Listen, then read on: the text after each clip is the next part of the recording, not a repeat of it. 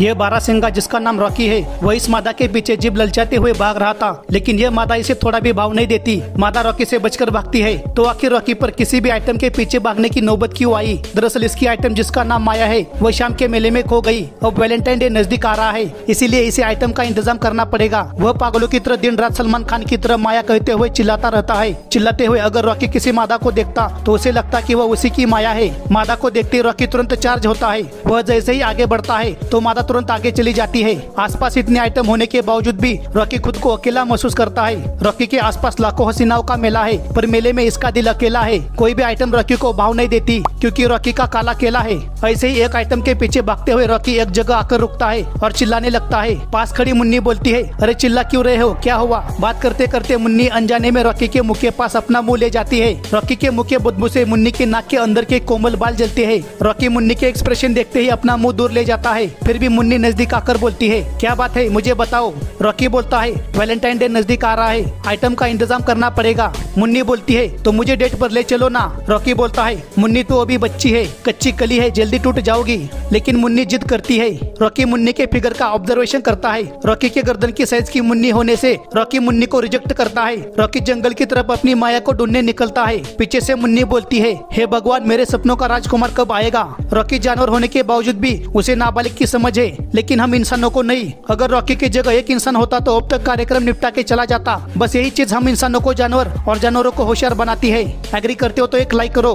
Rocky आगे बढ़कर दूसरे मादा के पास जाकर बोलता है, क्या तुमने मेरी माया को देखा? मादा बोलती है, मुझे नहीं मालूम, आगे पूछो। रॉकी कुछ सोचकर मादा की तरफ़ मुड़कर धीमी आवाज़ में बोलता है, क्या तुम सिंगल हो? मादा बिना कुछ बोले उठकर चली जाती है। रॉकी सोचता है, शायद बात बन जाएगी। रॉकी मादा के पीछे भागते हुए बोलता है, अरे सुनो ना लेकिन वही मादा फुल एटीट्यूड के साथ रॉकी के सामने से रैंप वॉक करते हुए चली जाती है। रॉकी बोलता है, बाहर में जा तू। रॉकी तीसरी मादा के पास जाता है, जो नजदीकी घास में बैठी थी।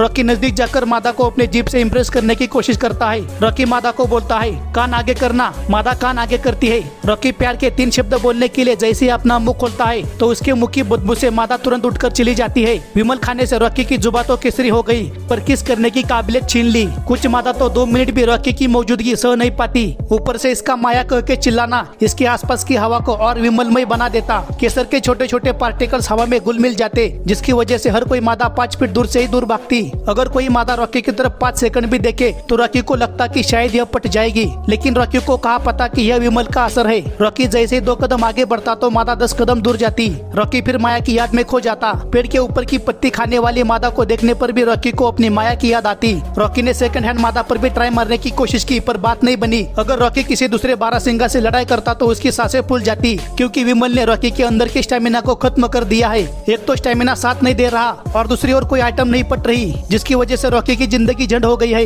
रॉकी गुस्से से अपने सिंह ज़मीन पर मारने लगता है। शांत होने के बाद रॉकी सोचता है, बहुत हुआ अब, यह दर्द मैं बर्दाश्त नहीं कर सकता। रॉकी तुरंत पानी की तरफ़ चला जाता है। पानी में जाने पर वह देखता है कि उसके आसपास मादाई पानी में नहा रही थी। रॉकी आखिरी ट्राई मारने के लिए आगे बढ़ता है, लेकिन वहाँ भी उसे असफलता ही मिलती है। पानी भी ज़्यादा गहरा न होने से रॉकी पानी में नहीं डूब सकता। रॉकी पानी में विमल थूक देता है और अपना मुँह साफ़ करता है और आखिरी कोशिश करने के लिए पानी से बाहर आता है और एक आइटम को इम्प्रेस करने की कोशिश करने लगता है। लेकिन आइटम उसे जरा भी भाव नहीं देती। रॉकी समझ गया। जब नसीब ही गांडो तो क्या करेगा पांडु? थका हारा रॉकी आखिर एक जगह बैठ जाता है और वही लेट जाता है। लेकिन उसके कानों में माया की आवाज़ गूंजने लगती है। वह तुरंत उठकर देखता है, आसपास वही सन्नाटा था। रॉकी बोलता है बाहर में जाए वैलेंटाइन डे और बाहर में जाए माया। अब तो सोने दो सालों, सुबह से कुछ नहीं खाया। दोस्तों, रॉकी की दर्द भरी दास्ता कैसी लगी कमेंट में बताना। और वीडियो के लाइक का टारगेट रखते हैं चार हज़ार दो सौ पचपन। मुझे पता है आप पूरा करोगे और खुशी खुशी में सब्सक्राइब बटन तो आपने दबा ही दिया होगा। बस जाते वक्त वीडियो को शेयर भी कर देना, ओके? अरे एक फोड घेतला की डोकं कसं तड थड थड थड थड